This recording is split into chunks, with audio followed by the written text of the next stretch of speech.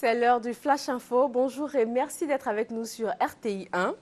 Comment évolue le processus de paix et de réconciliation en Côte d'Ivoire? C'est la question qui emmène l'ancien président du Ghana, John Kufor, dans le pays. Il a rencontré pour en parler le premier ministre ivoirien Daniel Cablon Duncan. Cette mission entre dans le cadre des activités de l'ONG internationale Interpeace, qui travaille avec des partenaires locaux à ramener la paix dans les pays qui ont connu des conflits. Trois jours de concertation pour les géographes de la Côte d'Ivoire et ceux de la sous-région. Au menu, un échange d'expériences et d'expertise en matière de conflits fonciers. Il est principalement question lors de cette rencontre de trouver des solutions aux problèmes de terre et d'espaces conflictuels. 27 000 personnes, dont 13 000 enfants, ont été identifiées et recensées dans la forêt du Mont Péco. Ces chiffres sont le résultat d'une enquête diligentée par le gouvernement après l'arrestation de Amadé Rémy en mai dernier. Décryptage du rapport de l'enquête avec Michel Digré.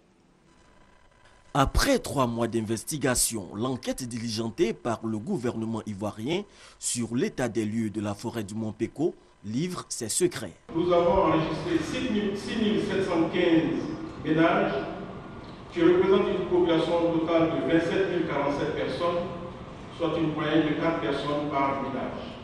Dans le parc, les Ivoiriens représentent 124 ménages, soit à peu près 537 personnes, ce qui fait 4% de la population des personnes vivant dans le parc. Pour les autres pays, les autres nationalités, dans 3723 ménages, soit 14 445 personnes qui sont de nationalité étrangère, ce qui représente 96%, dont 99% de Burkina Environ 13 000 personnes vivant sur le site sont des enfants de moins de 18 ans.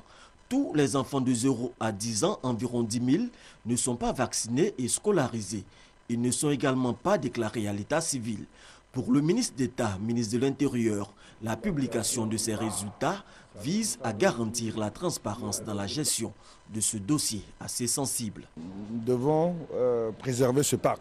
C'est un parc classé, un parc national, mais la gestion de cette question doit respecter euh, certaines contraintes qui sont des contraintes humanitaires, qui sont des contraintes liées aux droits des enfants, aux droits des uns et des autres. Et pour adresser une telle question, nous avons besoin d'abord de sensibiliser nos partenaires techniques, de partager l'information avec euh, tout le monde.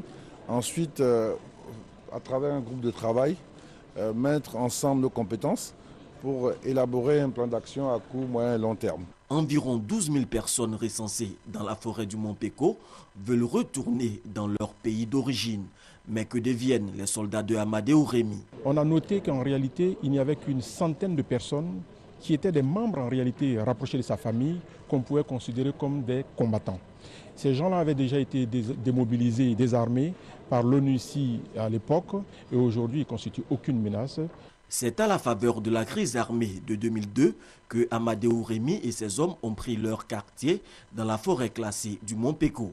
Arrêté le 20 mai 2013, Amadeo Rémy fait l'objet d'une poursuite judiciaire. La question de la scolarisation des filles et de l'alphabétisation au cœur de l'intervention du ministre de l'Éducation nationale, Candia Camara.